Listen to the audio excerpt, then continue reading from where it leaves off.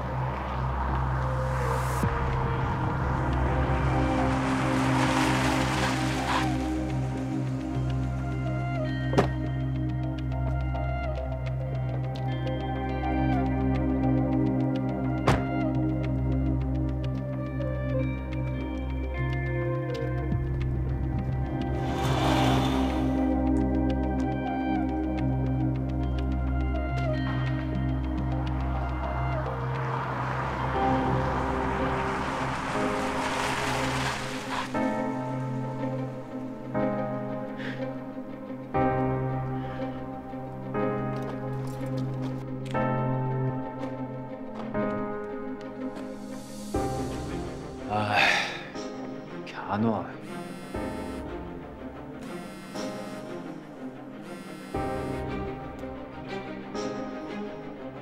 기훈아, 내가 분명히 혼자 오라고 했는데 약속을 안 지키면 거리는 없다고 분명히 경고했는데 너 이러면 안 되지.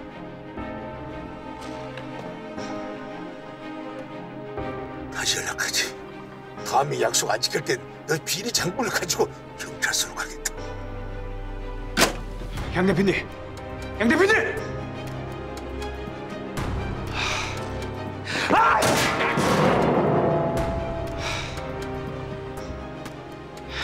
양희찬이 내가 혼자가 아니라는 거 알고 있어.